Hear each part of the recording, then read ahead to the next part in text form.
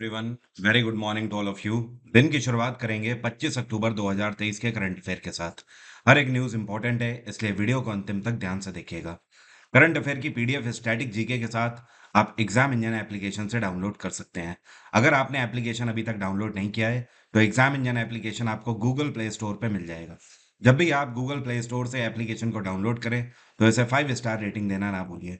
क्योंकि हमारी team daily आपके लिए जो फ्री कंटेंट लेकर आती है स्टैटिक जीके और इसमें करंट अफेयर का जो और तड़का रहता है, आसपास की भी न्यूज़ हम बहुत ज़्यादा कवर करने की कोशिश करते हैं। आप कभी भी इस पीडीएफ में देखोगे तो यहाँ पर हम आपको टेबल्स के फॉर्मेट में भी कई बार कोशिश करते हैं कि पूरे साल का डेटा एक साथ दे दें।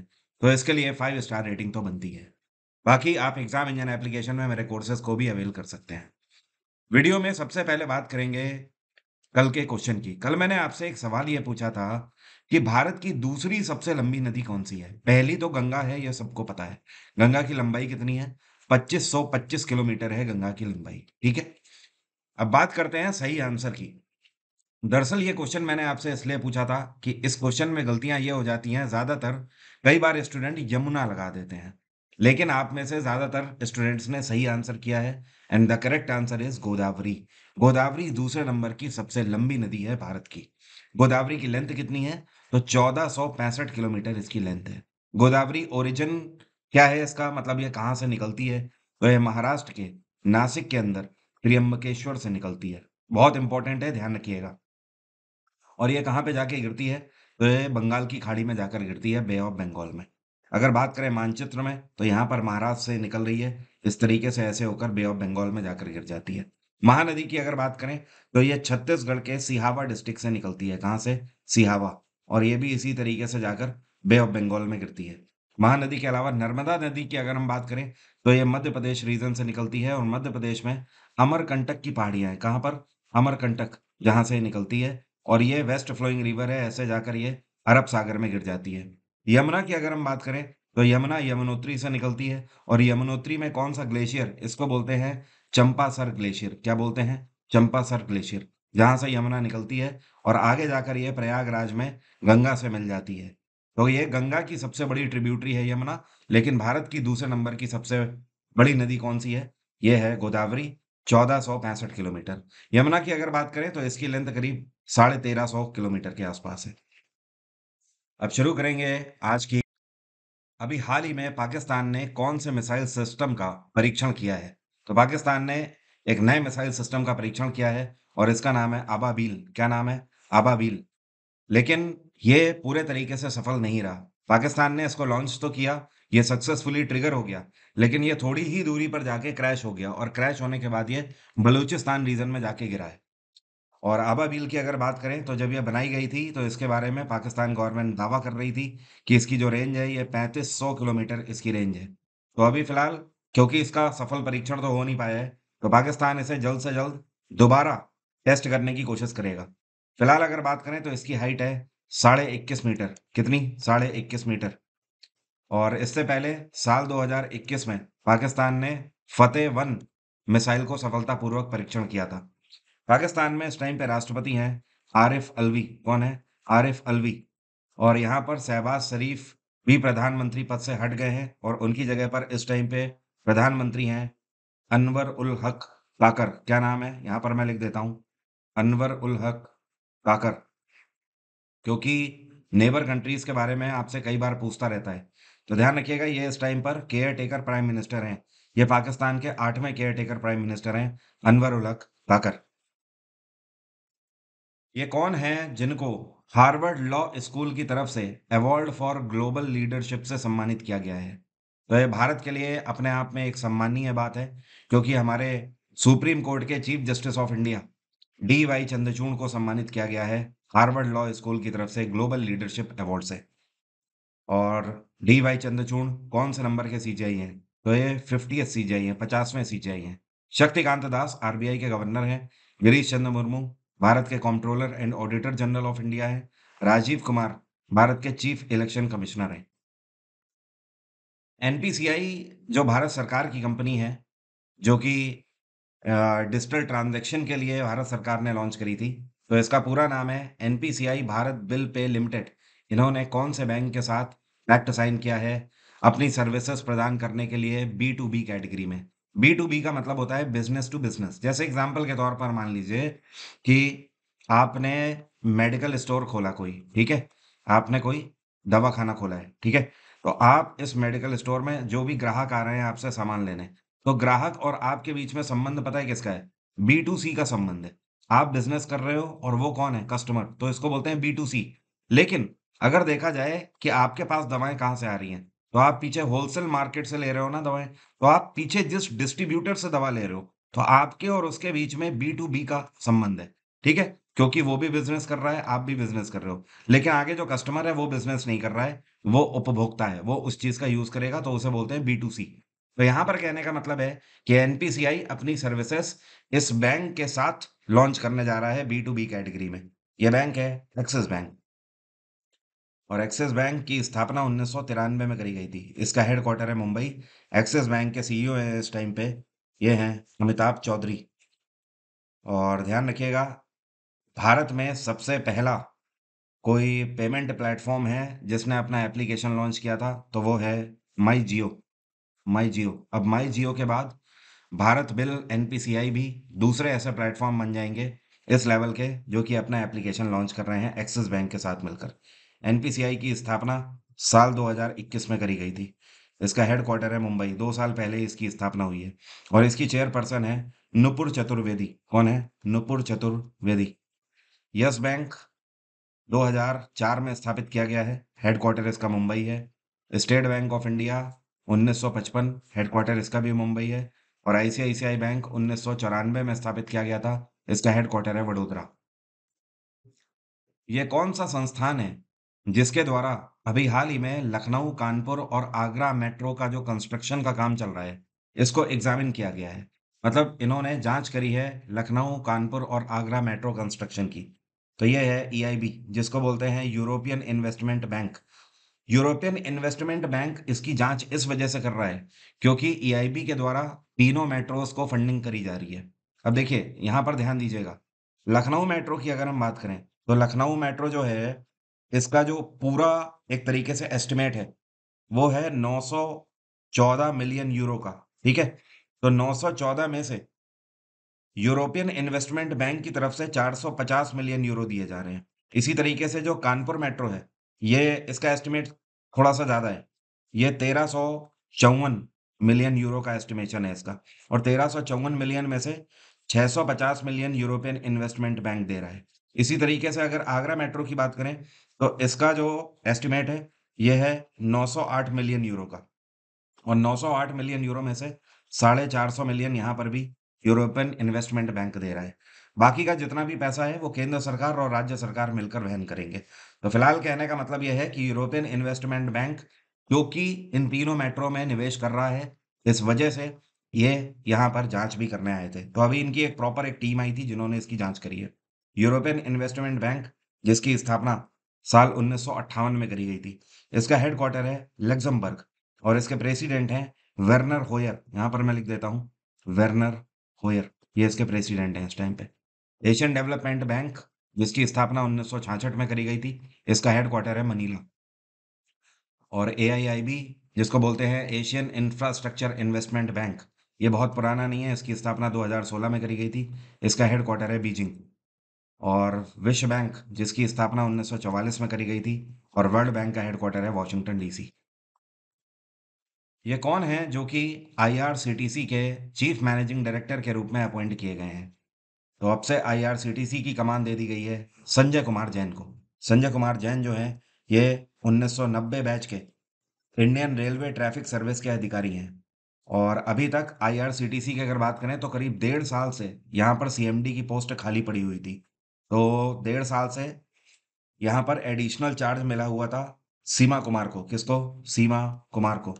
तो अब सीमा कुमार को सक्सीड किया है संजय कुमार जैन ने। ये परमानेंट बेसिस पर सीएमडी अपॉइंट किए गए हैं। आईआरसीटीसी रेलवे का वो संस्थान है, जो कि रेलवे में आपको सारी फैसिलिटीज़ देते हैं। और आईआरसीटीसी की स्थापना 1999 में करी गई थी। इसका हेडक्वार्टर है नई दिल्ली। अभी हाल ही में अमेरिका में ग्रैंड प्रिक्स 2023 किसने जीत लिया है, जिसको यूएस ग्रैंड प्रिक्स के नाम से जाना जाता है, हर साल ये होता है। तो US grand prix 2023 Max Verstappen ने जीत लिया है। मैक्स वर्स्टपेन साल 2023 में सबसे ज़्यादा सक्सेसफुल कार रेसर हैं। 2023 में अभी तक 17 कार रेस हुई हैं फॉर्मूला वन की, जिसमें से 15 टाइटल इन्होंने अपने नाम किए हुए हैं। और मैक्स वर्स्टपेन की अगर बात करें तो इसी के साथ एक बड़ा माइलस्टोन इन्होंने अचीव कर लिया है। इनके करियर का ये पचासवां grand slam grand prix title है, जो कि इन्होंने जीत लिया है। मैक्स वेस्पेन कौन सी टीम से खेलते हैं? तो आपको ध्यान रखना है, ये रेडबुल टीम से खेलते हैं और ये बेल्जियन डच हैं। बाकी अगर बात करें सेकंड नंबर पे कौन रहे तो सेकंड नंबर पे इस बार रहे Lando Norris Lando Norris McLaren team से खेलते हैं। मैकलैरन कार कंपनी का नाम है, ध्यान रखिएगा। और जो तीसरे नंबर पे इस बार रहे हैं, ये रहे हैं Carlos Sainz Carlos Sainz Ferrari team से खेलते हैं। तो ये टॉप थ्री रहे हैं इस बार यूएस ग्रैंड प्रिक्स 2023 में। वर्ल्ड स्नो लेपर्ड डे कौन से दिन मनाया जाता है? विश्व हिम तेंदुआ दिवस मतलब बर्फीला तेंदुआ बर्फ़ में पाए जाते हैं ये तेंदुए। तो इनको बचाने के लिए ये दिवस तेईस अक्टूबर को मनाया जाता है। ये दिवस पहली बार साल 2014 में मनाया गया था, जब से दुनिया भर में पता लगा कि स्नो लेपर्ड्स की तादाद कम होती चली जा रही है। इस टाइम पर अगर बात करें तो एशियन रीजन में जितनी भी बर्फीले जगह हैं, वहाँ पर सबसे ज़्यादा स्नो लेपर्ड्स पाए जाते हैं। जैसे कि कुछ कंट्रीज़ का नाम मैं आपको बताता हूँ, भारत हो गया, पाकिस्तान, नेपाल हो गया, भूटान हो गया इसमें। इसके अलावा रशिया वाला रीजन हो गया, ठीक है? मंगोलिया हो गया, चाइना हो गया, ये सारे वो देश हैं जहाँ पर सबसे ज़्यादा तादाद में स्नो लेपर्ड पाए जाते हैं बर्फीली जगहों पर।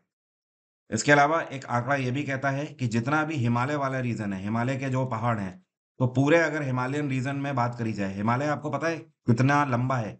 ये 2500 किलोमीटर तक फैला हुआ है, ढाई हज़ार किलोमीटर तक।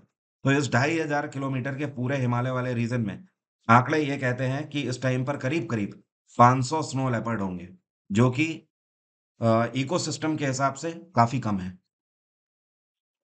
अभी हाल ही में एक प्रोजेक्ट है जिसका नाम है उद्भव। तो प्रोजेक्ट उद्भव को इनोग्रेट किया गया किसके द्वारा? दरअसल ये एक ऐसा प्रोजेक्ट है जिसके अंतर्गत सरकार ये चाहती है कि पुराने टाइम में, प्राचीन काल का जो ज्ञान है उसको हम अपने सैन्य तरीकों में जोड़ें। मतलब हम अपनी आर्मी वगैरह में, इंडियन एयरफोर्स में, इंडियन नेवी में, उन तरीकों का भी यूज़ करें। क्योंकि वो काफ़ी इंटेलिजेंट वेज हुआ करते थे, जैसे उस टाइम पर लोग युद्ध लड़ते थे। तो जिसके लिए प्रोजेक्ट उद्भव अभी हाल ही में नई दिल्ली से लॉन्च किया गया। और इसको अटेंड किया Indian army chief Indian naval chief and air force chief इसका उद्घाटन किसके द्वारा किया गया? तो रक्षा मंत्री राजनाथ सिंह के द्वारा इसका उद्घाटन किया गया वहाँ पर। और यहाँ पर जो मेन पहल करी गई, वो चाणक्य की किताब अर्थशास्त्र में जैसे कि चाणक्य ने बताया हुआ है कि एक राजा के पास कैसी आर्मी होनी चाहिए। उस आर्मी में क्या क्या होना चाहिए? एक सफल आर्मी क्या कहलाती है? किन टैक्टिक्स से वो लड़ने लड़ने के लिए हमेशा कैपेबल होने चाहिए? इसी तरीके से कामंदक के द्वारा एक किताब लिखी गई है। कामंदक की किताब जिसका नाम है नीतिसार। तो नीति सार में भी यही टैक्टिक्स बताई गई हैं। कुछ अलग और तरीके से इंटरेस्टिंग वे में। तो यहाँ पर इन किताबों की भी बात करी गई कि हमें क्या करना है कि इंडियन आर्मी एयरफोर्स और नेवी में पुराने तरीकों को भी अब इंक्लूड करके चलना है, जो कि पुराने टाइम में बहुत सफल हुआ करते थे। भारतीय सेना के द्वारा संप्रीति 11 बाइलेटरल मिलिट्री एक्सरसाइज कौन से देश के साथ कंडक्ट करी गई? हमेशा ये चीज़ आपको ध्यान रखनी है कि संप्रीति एक्सरसाइज हम बांग्लादेश के साथ ही कंडक्ट करते हैं, किसी और देश के साथ नहीं करते हैं। जैसे कि अगर हम बात करें, एक एक्सरसाइज का नाम है हैंड इन हैंड तो हैंड इन हैंड हम हमेशा चाइना के साथ ही कंडक्ट करते हैं। वैसे ही संप्रीति है, ये हमेशा करते हैं बांग्लादेश के साथ ही। इसी तरीके से बांग्लादेश के साथ हम एक नेवल एक्सरसाइज कंडक्ट करते हैं, जिसको बोलते हैं बोंगो सागर क्या बोलते हैं? बोंगो सागर तो फ़िलहाल ये आर्मी एक्सरसाइज है, जिसको संप्रीति बोलते हैं। ये इस बार ग्यारहवा संस्करण इसका आयोजित किया गया। तो आंसर है बांग्लादेश। इस बार इसका वेन्यू क्या रहा? तो बांग्लादेश में ही इस बार इसको आयोजित किया गया। बांग्लादेश का एक शहर है जिसको बोलते हैं उमरोई। क्या बोलते हैं? उमरोई। और इस टाइम पर बांग्लादेश आर्मी चीफ पता है कौन है? इनका नाम है शफीउद्दीन अहमद। क्या नाम है? शफीउद्दीन। यहाँ पर मैं लिखता हूँ, अहमद। और बांग्लादेश में शेख हसीना की सरकार है। इनकी पार्टी का नाम है आवामी लीग।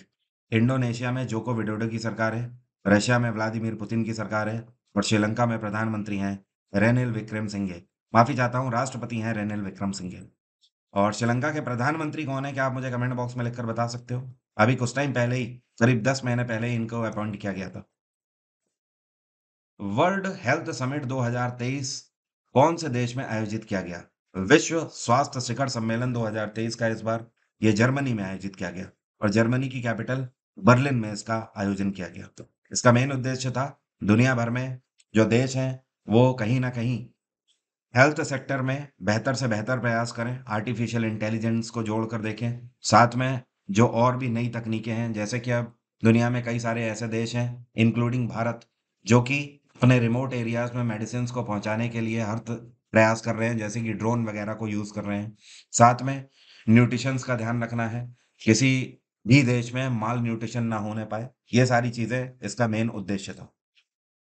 और जर्मनी में चांसलर कौन है? ये हैं ओलाफ स्कूल्स। जैसे भारत में प्रधानमंत्री होते हैं ना, वैसे ही जर्मनी में इस पोस्ट को बोलते हैं चांसलर, ओलाफ स्कूल्स। पिछले साल अपॉइंट किए गए थे। और अर्जेंटीना में इस टाइम पे राष्ट्रपति हैं एल्बर्टो फर्नांडिस। क्या नाम है? Alberto Fernandez.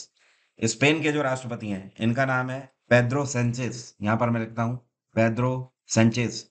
और फ्रांस में राष्ट्रपति हैं इमैनुअल मैक्रोन मैक्रोन, ठीक है? फ्रांस की कैपिटल है पेरिस। स्पेन की कैपिटल मैड्रिड, अर्जेंटीना की ब्रूनो आयर्स और जर्मनी की capital Berlin.